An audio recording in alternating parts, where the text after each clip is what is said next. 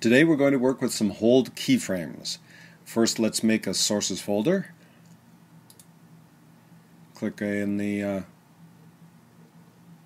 click on the create a new folder icon and name the folder sources. With that folder selected, choose file, import, file, and we'll find our Illustrator file that we'd like to import. And there it is. Let's make a new composition for this. Click in the blank area so that our new composition does not end up in the sources folder. And let's choose the NTSC D1 widescreen square pixel preset and let's make it, uh, oh I don't know, three seconds long. So your time should be 0, 0, 0, 0, 3, 0, 0. Okay, that is hours, minutes, seconds, and frames. Leave the background color black. Call it hold keys. Okay, that's a new composition. Drag the at symbol into the hold keys comp. And where is it, we ask? Well, there it is.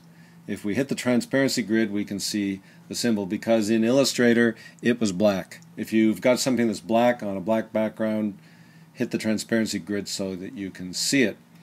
Now we're going to move this thing around the composition in a uh, reasonably random fashion. We like it in the center for now, so let's make a keyframe.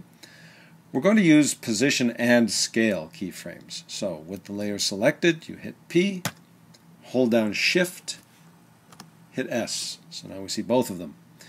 Do we like it there? Yes, but we'd like it a little bigger maybe about that big, maybe move it down a bit. Let's set a keyframe there. And let's say that we like it there at the end as well. So let's move to roughly here. And we'll just add a keyframe right there that just happens to match the one that we're at because we didn't change anything. Now let's go back here, maybe to uh, there. Let's move it and scale it. Go here. Uh, let's make it every 15 seconds. So just grab these two. 15. I didn't mean 15 seconds, I meant 15 frames. How about over here? Uh, let's go over there. Maybe scale it down a bit. Move over here. Drag it down there. Scale it up a bit. Move over here. Let's try there. Scale it up some more. Move to here. Uh, let's see what looks good. Maybe over there. Make it very small. And let's play that. See what we get. RAM preview is the rightmost button.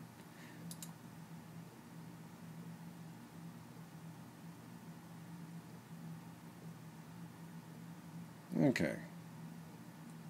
Silly, but what can you do? Let's see. I think I like this one over here. That's a little better. Okay, that's a little better.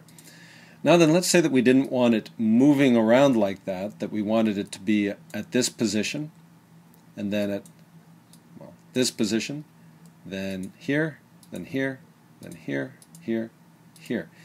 We would use something called hold keyframes.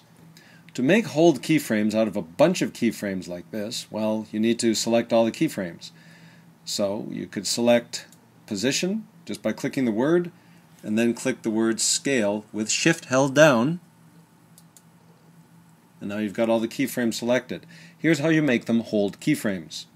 You right click or control click on the uh, any keyframe and choose toggle hold keyframe. When you click they change into a different kind of keyframe. Let's see what that looks like.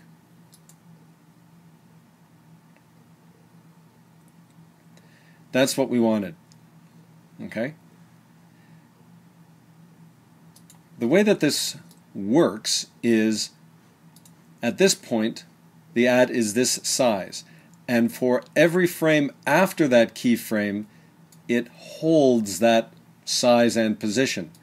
Once you move to the next keyframe, it changes it and then it holds it. So it's change and hold, change and hold, change and hold, change and hold, and change and hold. Okay? Now, the uh, one thing you should notice is that when the at symbol is very large, it's fuzzy. Well, it's an Illustrator file, it's a vector file, but why should it be fuzzy? Shouldn't it be sharp? Well, After Effects rasterizes everything in its path. It, uh, well, turns it basically into PSDs, Photoshop, whatever, from a from that point of view. It rasterizes stuff, whereas an Illustrator file is a vector file. If you want this vector file to look sharp again, you need to rasterize it at every size, not just at the original size that it came in, which is what After Effects does by default. It brings it in at its 100% size, rasterizes it, and then leaves it there so that when you scale it up like this to what, 635%, it gets fuzzy. So you need to, as I said, continuously rasterize it. To do that, you press this little button right down here. This right down here, we have our little button, and this is the continuously rasterization button, or the continuous rasterization button, right below the little sunburst here. See, for vector layer, continuously rasterize. Click the button, and it's sharp. Switch it off, it's fuzzy, switch it on, it's sharp. Isn't that special?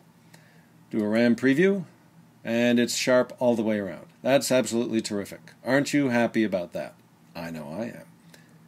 Moving right along. Let's say we wanted to change the color of this boringly black at symbol here. Uh, by the way, this symbol was created uh, in Illustrator and converted to outlines so that this symbol will appear no matter what fonts you have on your computer. If you don't have the original font on your computer and this is not in outlines, uh, After Effects would not see it as it's supposed to look. So if you're not sure what computer will be using this file, uh, if it might go to somebody who doesn't have all your fonts, be sure you make outlines of it. Save your original, of course, so that if you have to change it later, you can do that in Illustrator. If the client comes back to you and says, I want to change the font, you have the ability to do that. But it's just good practice to make something to outlines and bring that in in this fashion. So let's change the color as I said we were going to do. Make sure that our layer is selected here and this time we're going to find it from the effects and presets. The effect we're looking for is called fill. So right in here, type in F I L L. And under generate, we want generate fill. We don't want these other guys uh, today. So click fill, double click it actually, and it fills the A with its default fill color, which is red, which is nice. And now we can actually bring back the black. There we go. And let's change the color of that. But let's say we like it at red right now. We need to make a keyframe for this because we're going to change it throughout our composition. So make a keyframe by clicking the stopwatch next to color. Now if you want to see it here, you could hold down Shift and E, maybe, but the fastest way is to simply hit the U key. The U key gives you all of the keyframes that you've made for that layer. It's a very handy one. If you hit U again, it closes all the keyframes. If you hit U one more time, it brings them all back. That's a good way to clean up your layout if you have a bunch of things you don't want to see at that moment, a bunch of keyframes you don't want to see. Okay, so we like this keyframe here. But let's say we want it to hold in the same way that all the other ones are holding. You select the keyframe for fill, right click or control click on it, hit toggle hold keyframe.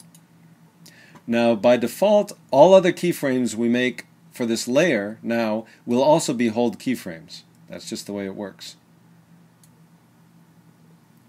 Actually, let's test a theory here. I've never tested this before.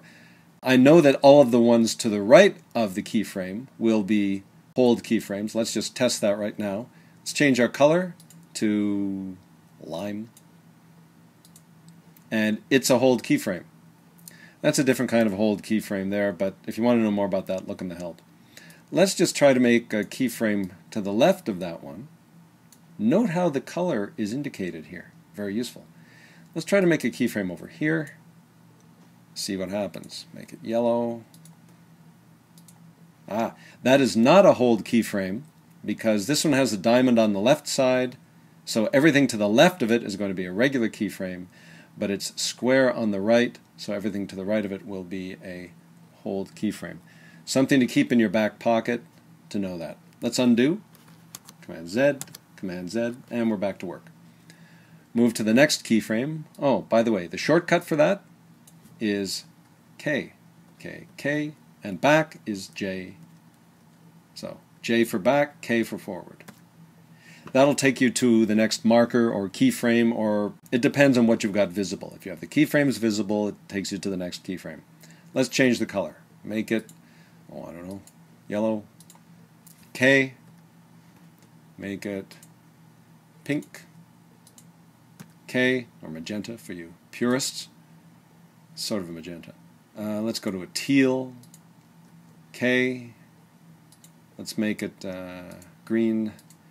And at the end we want it to be red again, so let's select, copy, our first keyframe that is, over here, and hold down Shift, lock, there we are. Shift takes us, Shift snaps the current time indicator. And paste. There it is. Red at the beginning, red at the end. Let's see what that looks like.